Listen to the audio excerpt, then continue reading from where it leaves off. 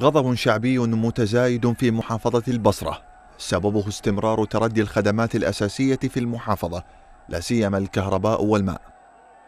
سكان منطقة باهلة شمالي البصرة تظاهروا للمطالبة بتحسين الكهرباء ومعالجة الملوحة الكبيرة في مياه شط العرب وتوفير فرص عمل للشباب العاطلين.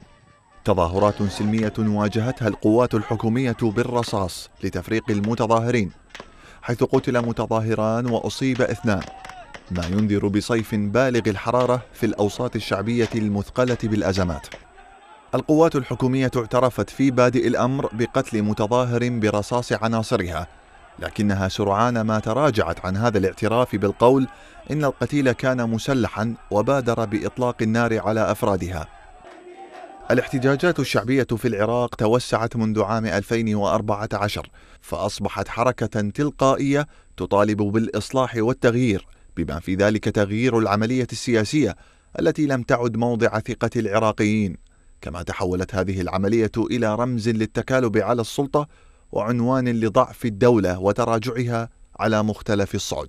فالسكان في أغلب محافظات العراق يتظاهرون منذ سنوات مطالبين بتوفير فرص عمل للشباب وتوفير الكهرباء والمياه الصالحة للشرب ومكافحة الفساد الحكومي إلا أن أيا من هذه المطالبات لم تلق استجابة تذكر.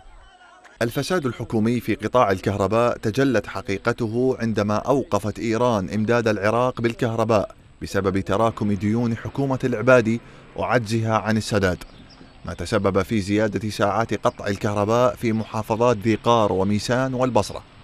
ويتفق معظم العراقيين على أن أزمة الكهرباء في بلدهم الغني بموارده الطبيعية تمثل نموذجا حيا للفساد الحكومي المالي والإداري وإهدار ثروات البلاد.